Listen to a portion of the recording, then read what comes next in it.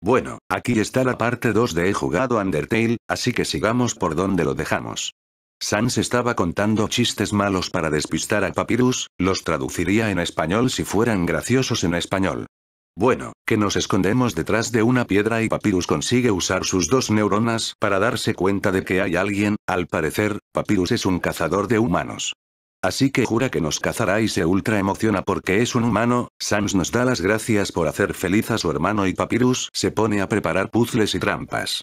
Pero la mayoría son tremendas estupideces, también Sans nos va ayudando. Pero las pruebas son lo más lamentable que he visto, por ejemplo, la primera es un laberinto invisible la cual el idiota de Papyrus nos da la respuesta sin querer, después hasta nos hace unos espaguetis, que amable Papyrus, todo un capo. Cosa que obviamente es una trampa, así que se sorprende porque no nos los comimos.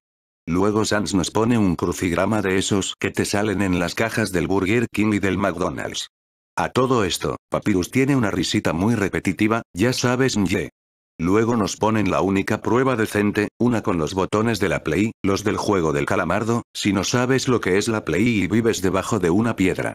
Y lo último que he hecho hasta ahora, Papyrus nos da una explicación de tres años sobre un puzzle aleatorio y cómo deberíamos pasarlo, y yo todo imbécil me lo apunto y luego va y no pasa casi nada de lo que dice, y bueno hasta aquí he jugado, sé que son vídeos cortos, pero entre semana no tengo mucho tiempo para hacer vídeos más largos, pero bueno, si te ha gustado, like, campanita y suscríbete, adiós.